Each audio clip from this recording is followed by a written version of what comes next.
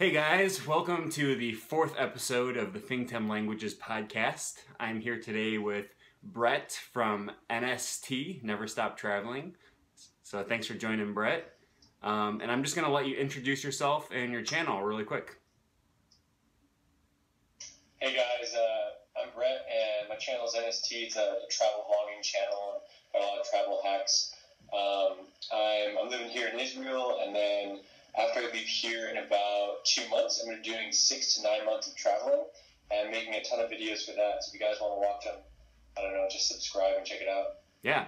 So he's tr- done a lot of traveling. Um, and Brett is actually a personal friend of mine, so we've done a lot of traveling together. Um, he's been all around the world. Uh, he's traveled more than I have, if you can believe No, that. no, dude, I think more than I have. Well, you've traveled probably more extensively. I don't know. Yeah, over, over, especially over the last year or two. Um, and so he does Yeah. does travel vlogs about traveling around the world. Does a lot of traveling in Asia and stuff. And so I'm really excited to have him on the podcast today. So, uh, why don't you tell people a little bit about where you are right now?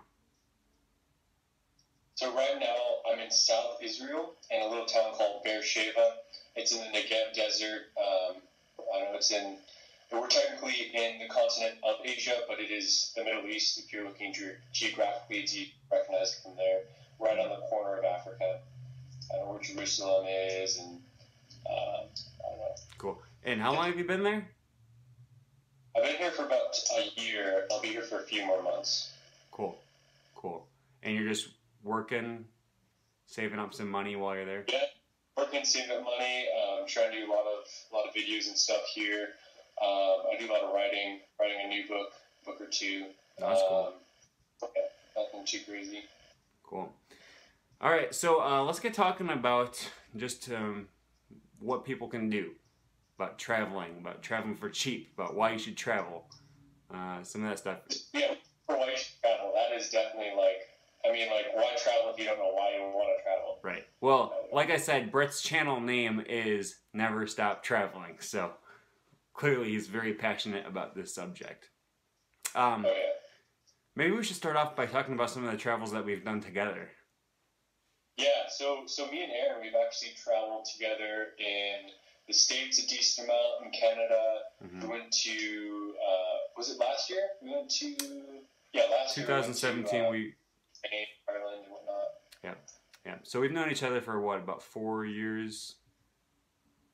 Yeah, four or five years. Four or five years, yeah, 2013, Yeah. maybe 2013, 2014. Um, and so last year we did a good amount of traveling. Was it 2016? 2016 we went to Canada together. Last year we went to Ireland, to France for Bastille Day, and then we went to Pamplona, Spain during the running of the bulls. Um, That was great. yeah, and we Definitely both want to do that again. we both did travel vlogs while we were doing uh, doing the running of the bulls, so that was pretty cool. Um, most of you know if you've been watching this channel for a while, I have a few other channels that I don't put as much work into, like my I have a Fingtam Languages, Fingtam Esperanto, Fingtam Adventures, and so uh, we posted some vlogs about running of the bulls while we're over there, um, as well as hitchhiking and all kinds of other things. Um, so super fun. So, um, Brett, why don't you just talk a little bit about why you travel, why you think people should travel, and why you never stop. Love travel. Yeah, so I love to travel. Obviously, um, I think everyone should travel because it kind of pushes you outside your comfort zone. Um, it helps you to uh, grow as a person, figure out who you are. Um, you just learn so much about, you know, especially leaving a first world country, going to a third world country. Uh, it's kind of humbling learning how how great and how spoiled we have it in the Western world It's true. and uh, I don't know, just a lot of a lot of good conversations, a lot of good networking. Yeah. I mean, why not travel if you can? I like what you said about uh, getting out of your comfort zone because I don't know what percentage of people, at least from the United States, have ever traveled to, you know, poorer countries or poorer areas. Um, even consider Mexico. Most people haven't even like left the U.S. It's Yeah. crazy. Yeah. Um, it opens your mind. You know, uh, you get so comfortable living in the area where you live and not leaving and just uh, seeing life from one certain point of view. You know, so traveling to other places and different cultures where they do things that we do not find acceptable sometimes. You don't even have to go that far. I went, you know, um, last time I went to Montreal, um, I was walking in the supermarket you know, and looking at the pork, the beef, the chicken, the horse meat. And then i look at that and I'm like, horse meat? They have horse meat here? So of course, horse meat's great. Had horse sushi a bunch and horse sushi, uh, yes, horse sushi. raw beef raw horse. Yeah. Okay, that's Yeah. crazy. Yeah, I've never heard of that before. But you know, walking through the supermarket in Canada, see the horse meat, and of course, I gotta try it, right? Like, how could you see that and not want to try it? I know plenty of people who wouldn't try it. Yeah, I mean, I, I do too. In fact, I was posting pictures on Facebook of the horse meat spaghetti that my couch surfing host made. that sounds good. Yeah, because I told him I was like, I've never heard of horse meat, of people eating horse meat before. And he goes, Oh, yeah, it's fine. We'll make some spaghetti. And so we made spaghetti that night, posted pictures on Facebook, and I got a bunch of people leaving nasty comments on my Facebook. You know, because it's something that we're not used to. It's not in our culture. Yes, we have so many associations to being horses as almost like humans, same as dogs and cats. Right. It's like, where's that line? Yeah, for some reason we say dogs, chickens, horses, sheep, or dogs, chickens, cows, sheep, fish, turkeys are acceptable, and then horses are not. But you don't realize you don't realize that that's just an artifact of our culture. There's nothing that's actually true about the universe that makes it wrong to eat horses. We're getting into some strange topics really fast. this Yeah, if you if you uh, have conversations with me and Aaron, sometimes we'll uh, we'll go off track and we'll just talk about literally anything, and you know, it's more of like phil- philosophical stuff. We we enjoy kind of like um, challenging, you know, certain ideas and perspectives. I mean, why you know some people use, um, you know, like in the states we use toilet paper, like completely normal, but in certain parts of our you know South America, um, if you use toilet paper, it's like you know, it's a big no no because it's so valuable. They use it to write notes and stuff in such a rare Really? quantity. I've never heard of that. down- My buddy was uh, was with a tribe down in the Amazon and he Huh. used toilet paper, and they told him, yeah, if you, usually if you use toilet paper, we kill you for that. Like that's that's a what? uh, crazy high offense. But they're like, we know you're not from here. It's not Yeah. our culture. You're okay. Just don't do it again. That's It's like- insane. Yeah.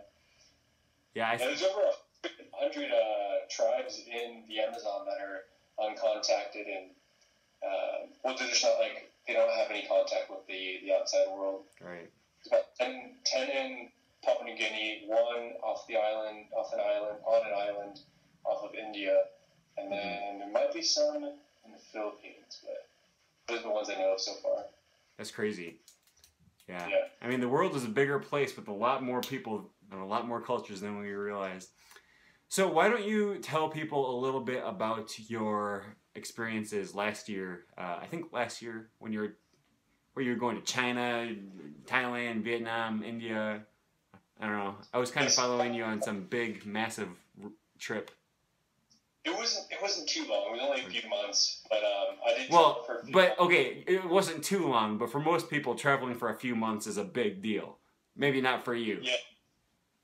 I don't know. After you do a week, you're like, okay, I can do a month. After a month, you can do like three months, and then now I'm gonna do six months to twelve months. Hopefully, I'll do a year this this next bout if it goes well. Yeah, I'm sure a lot, plenty of people would love to do that. It's just being able to take off work and leave family behind for that amount of time that most people, Or work work online. I'll be doing some work online to try to increase my income right? as I'm traveling. If I can still save a grand or two a month, I'll continue to travel as long as I can increase my savings and whatnot. Sure, sure.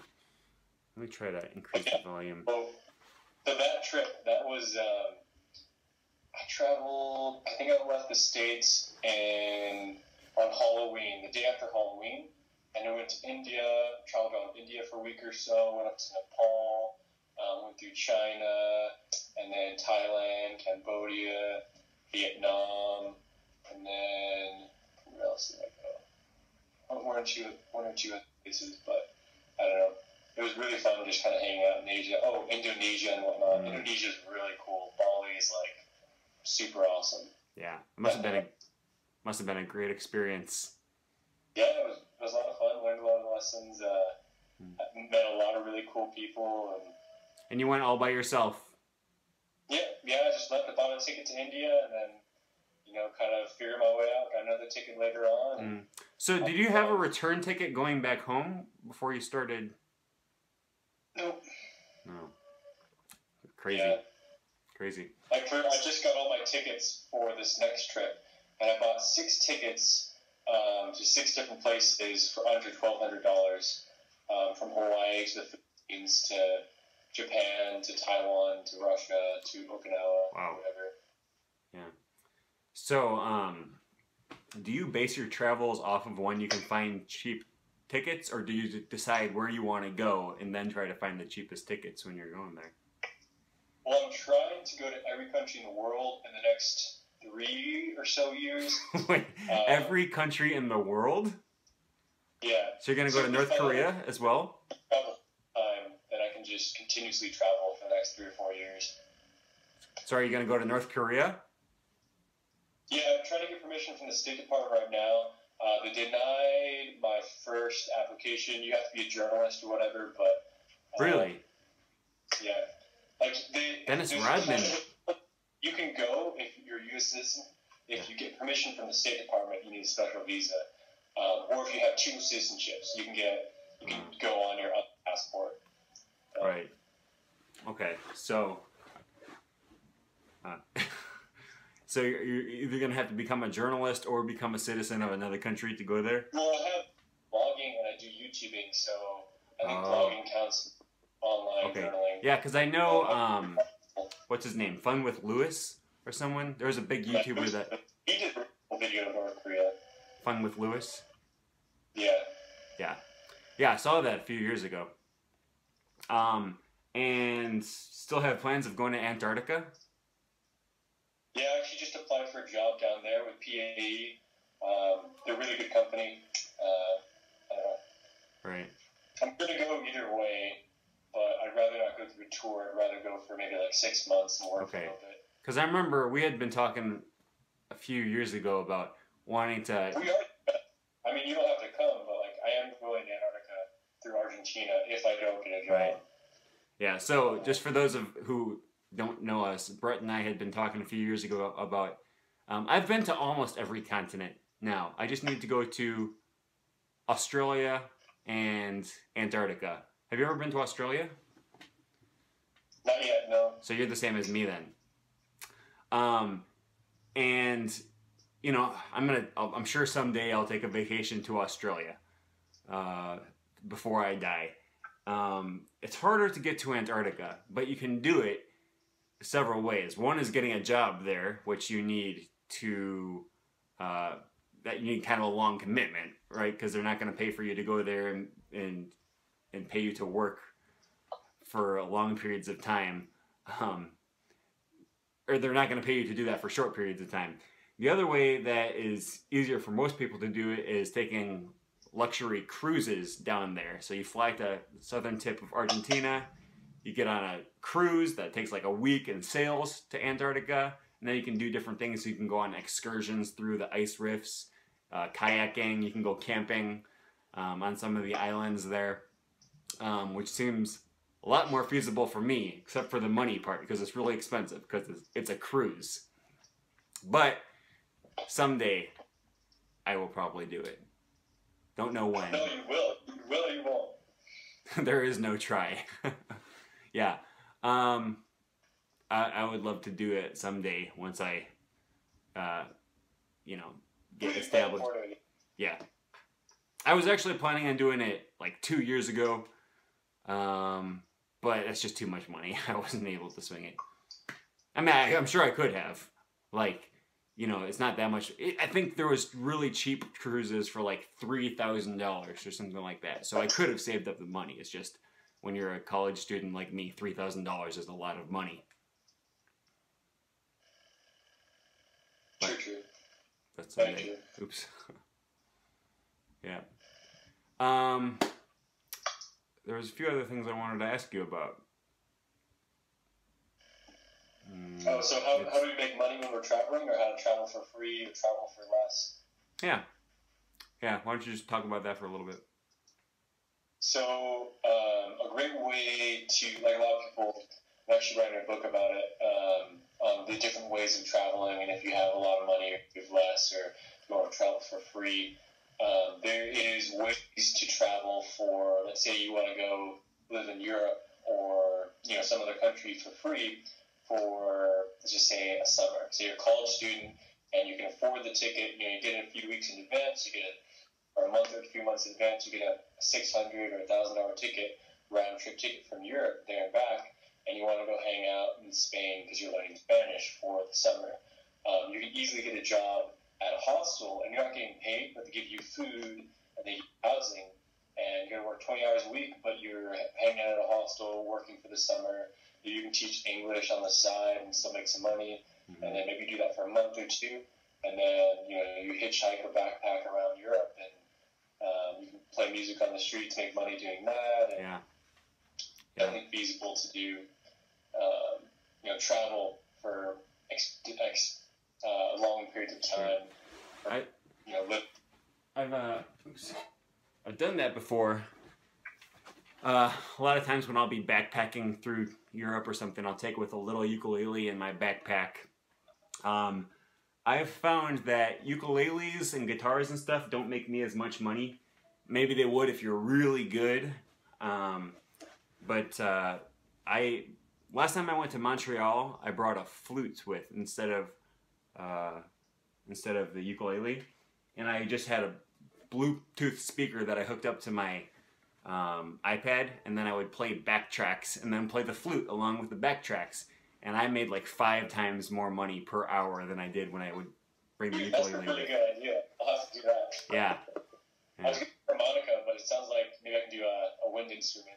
Yeah, harmonica is not terribly difficult to learn. Um, I've played it before. It's just like I want to do whatever's the most.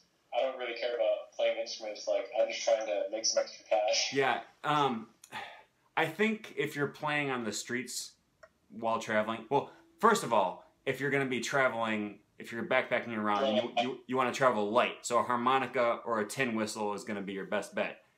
You know, even something small like this is going to be bulky to lug around with you everywhere.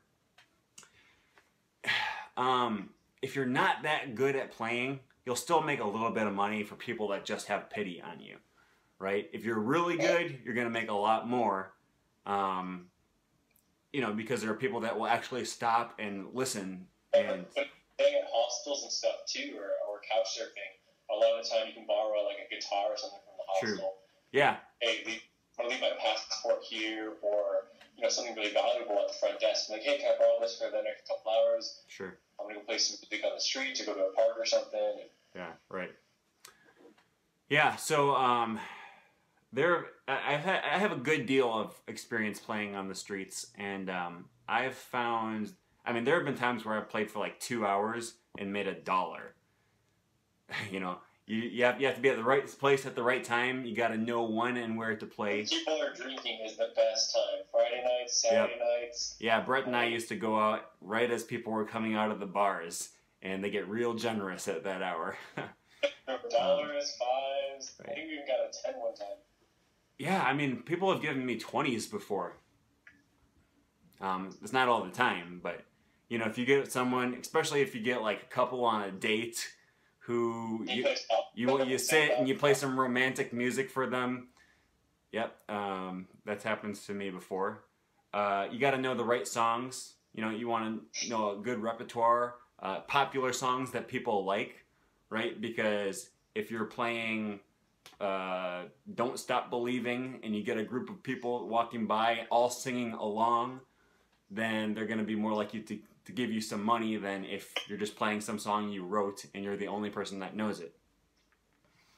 Um, and interesting, anything that's interesting is going to make you more money. So flute, you don't see people playing the flute. I, I don't play an actual flute. I play a tin whistle, which is a type of flute. Um, and you don't see people playing that all the time. Not as much as as the guitars. So that made me more money. If you can do some kind of percussion while doing it, if you can multitask, do something funny, to me that uh, that's just going to increase your opportunities for making cash. But um, have you done any other ways of making cash along the way? I mean, just working. Or? Not too much yet. Uh, I'm doing more stuff online with like teaching and affiliate marketing. So hopefully, if that grows, I'll be able to make more of an income online as I'm going along the road. Right. But I don't know. If you um, if you work online, your job is, I don't know, if you do some kind of programming or some kind of consulting or search engine optimization or you have something that you can do from your laptop, then you're golden. When I was in Panama a few years ago, um, I met a lady who just has a normal job, just like she worked in the United States. And then one day she realized, if I'm just working from home anyways, then home can be anywhere. So she moved to Panama, and she worked down there, and she volunteered at with uh, this uh, missions organization, um, and that's just where she lived. But her job was exactly the same as it was in the states.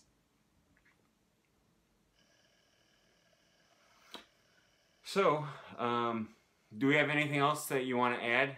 I think this video is about 20 minutes long so far, so. Um. Yeah, um, we can talk about traveling in first world countries versus third world countries, or um, different, you know, staying at hotels or, or hostels, mm-hmm. or yeah, a lot of Americans are afraid of hostels. I've had True. so many. I've talked to so many people. I'm like, yeah, just go stay at a hostel. It's like I've stayed at hostels for as cheap as two dollars a night, and you can generally get them for thirty, which is still a third of the price of most hotels. Right. Right. Even at like foreign places, you know. Yeah. Like Twenty. I find that people that haven't traveled very much have a misconception about how dangerous the world is. Right? It's not that dangerous. Chicago is really dangerous compared to Israel. People think Israel is really dangerous. Yeah. But like like no you have to be smart, okay? Um, don't go into areas where you're not supposed to be. You know, um, don't be out past the hour that it's safe. Don't you know? Do your research. Ask the people at the lobby at the hotel or hostel. I don't know. Be like, if you're in San Pedro Sula, uh, Honduras, you don't leave your your hostel hotel, especially yeah. at night. And you know, it's like I've you know I've I spent a week in San Pedro Sula in 2015, and to tell you the truth, I never felt threatened at all. Yeah, I mean, I was there for you know two days, and it wasn't. Mm.